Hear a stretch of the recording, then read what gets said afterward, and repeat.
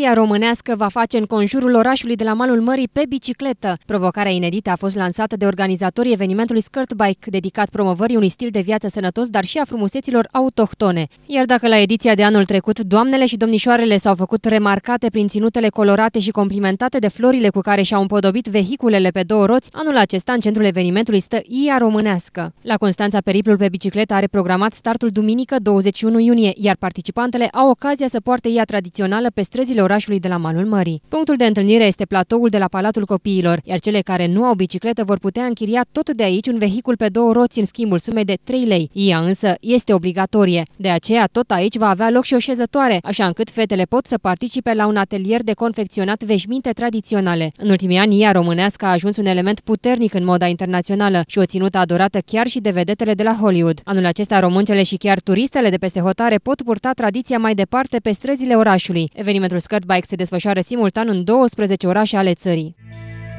Se naște iar pământul, se nasc iar bucurii, scoate iar afară, din adâncim la soare, tezaurul de fote, ștergare și de ei, culori cerului.